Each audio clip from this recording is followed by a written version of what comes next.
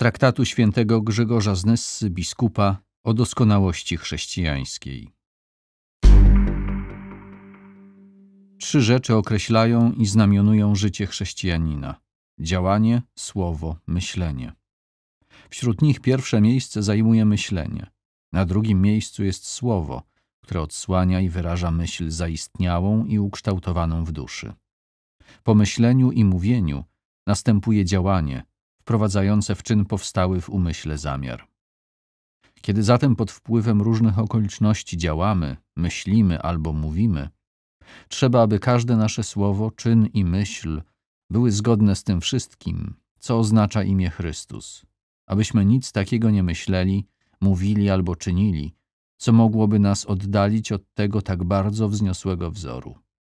Kto więc otrzymał zaszczytne imię Chrystusa, powinien pilnie badać wszystkie swe myśli, słowa, czyny i osądzać, czy zmierzają one do Chrystusa, czy też oddalają się od Niego. W różny sposób można przeprowadzać tak doniosłą ocenę.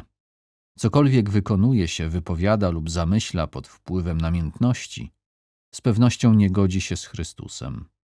Raczej nosi znamie oraz rysy przeciwnika, który pogrąża perły ducha w błocie namiętności, aby przyćmić i usunąć blask kosztownego kamienia. Wszystko zaś, co jest czyste i wolne od jakiegokolwiek niewłaściwego pożądania, zwraca się ku Twórcy i początkowi duchowego pokoju, którym jest Chrystus.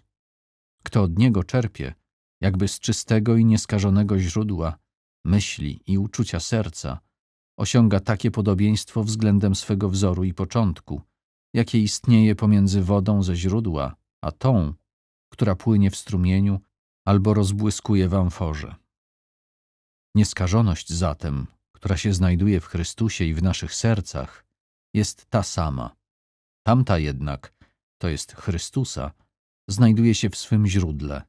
Nasza zaś stamtąd pochodzi i ku nam płynie, niosąc ze sobą właściwe wskazania na życie.